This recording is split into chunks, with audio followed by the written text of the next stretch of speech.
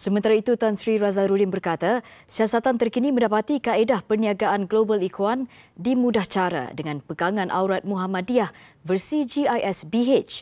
Pegangan mereka katanya sangat taksub dan mendewakan pemimpin sehingga memutarbelitkan ajaran Islam.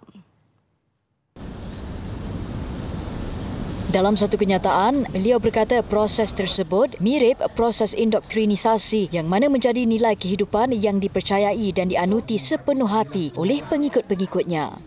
Doktrin itu tegasnya sangat berbahaya kepada keselamatan negara, khususnya ajaran agama Islam di negara ini dan kebajikan serta masa depan pengikut-pengikutnya yang bergantung sepenuhnya kepada pemimpin-pemimpin mereka sahaja. Hasil kerjasama siasatan bersama Lembaga Hasil Dalam Negeri LHDN mendapati GISBH tidak pernah membayar cukai yang berkaitan.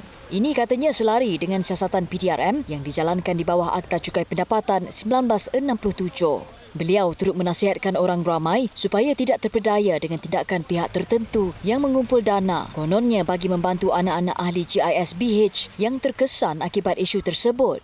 Tindakan itu dipercayai cubaan untuk mengambil kesempatan atas isu berkenaan.